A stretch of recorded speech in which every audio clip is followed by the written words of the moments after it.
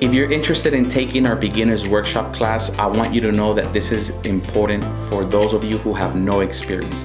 If you want to learn how to inflate and tie balloons in a productive way where it's really fast and professional, where you're saving time, you're gonna learn how to do that here. You're also gonna learn how to make balloon columns, balloon arches in a very efficient way, how to build your own structure that doesn't only work for indoor, but also structures that can last you and are strong outdoor. We're gonna teach you what structures we use, we're gonna show you how to build them, and we're also gonna show you where you can buy them. Here in this class, you're also gonna learn how to make balloon garlands. You're also gonna learn how to install them indoor and outdoor. We're gonna teach different techniques, and obviously we're gonna focus on all your weaknesses. If there's anything that you're weak at, we're gonna make sure that we're helping you in that class, and that's why we have made these classes very limited. We want only a small amount of students so that way we can focus on you personally and give you the best experience possible.